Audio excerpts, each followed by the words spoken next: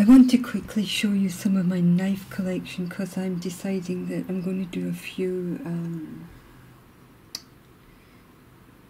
I'm going to do knife sharpening videos to show people that they don't have to do the standard traditional way but they can figure out how to sharpen knives themselves from their own natural instinct. But I want before I do that I want to show you this is um, this is the Opinel, excuse me.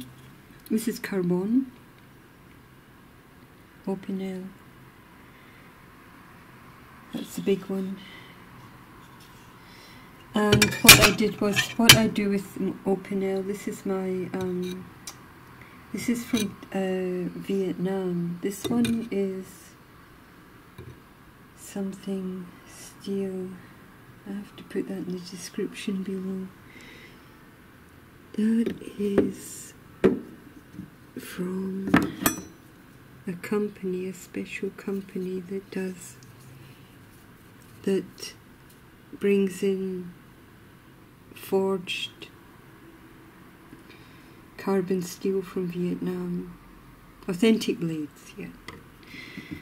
Authentic blades and so this is um, Opinel and what I do is I I sand down the handle myself and um, treat it with olive oil or different just natural oils not any, anything chemical. And I do things like this to make the knife my own and so that's my big one. What have I got here? Yeah this is the dirty side. This is I have to show later how I did this. This I did this with very fine sandpaper. You can actually clean the blade without making it look sort of scratchy horrible just using fine sandpaper. And this is the other side. I haven't done yet that I want to show later and you can see the the difference. It has a nice effect. If you use the right grade of sandpaper, it has a nice effect. But these, I want to show later also. This is also authentic blades. I got the I got the blade with a kind of metal with a metal shaft that I then um, made my own handle from Scots pine.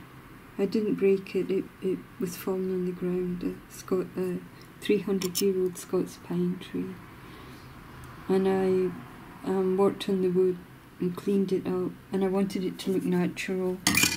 And then um, it fitted the blade. To show that. So that's a lot of fun. So if you can't forge your own knives, you can actually um, you can figure out ways to to put a forged knife onto uh, your own knife handle. And it works pretty well. It, it fits. And I didn't figure that out. It just happened by accident. But it's a very nice knife so I want to look at that maybe. And this was this is also authentic blades. Um, it came with the handle, just a lightweight. It's a very nice knife, very sharp, beautifully made. Um, they're forged in Vietnam in the natural way.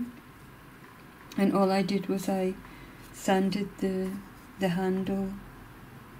Um, and to get a grip, I put the the leather. I wound the leather on. Then in the end, I I just glued it with super glue, but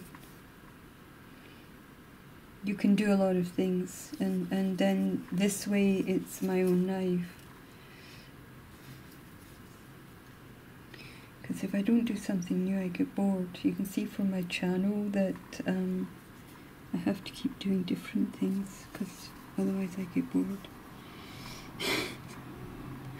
But that's that one okay. And this also is authentic blades. Fantastic knife it's a bit heavy for me. Um, but I love it. It's a big chopping knife. And this was just some little gift that a friend gave me of a um, just some little knife that I then played with. The, both sides were like this. I created this effect on my own. Um, sanding, sanding it down with the sandpaper, and then I just wound the. If you wind the leather down round, um, just leather pieces are different. This is something else. Um, that actually gives a better grip.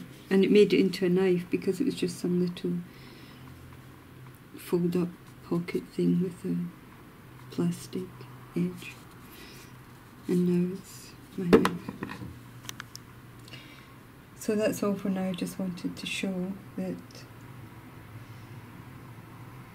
it's fun to just find.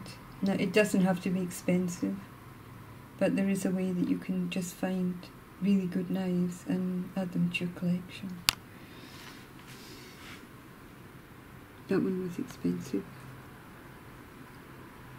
Savignac. Hand forged.